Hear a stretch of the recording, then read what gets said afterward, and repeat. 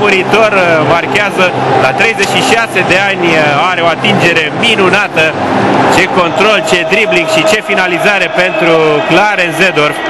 Destul de puțin folosit în acest uh, sezon Zedorf s-a lămurit însă Allegri că este într-o formă deosebită.